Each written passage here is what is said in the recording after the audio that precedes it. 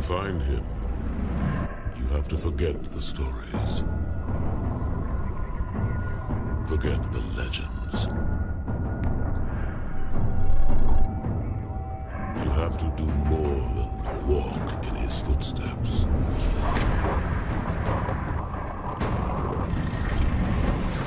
For he is more than the sum of his actions.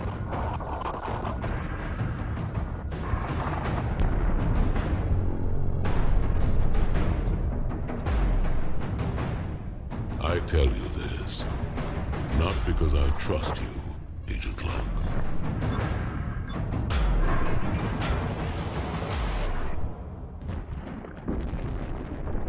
But because all our lives are at stake.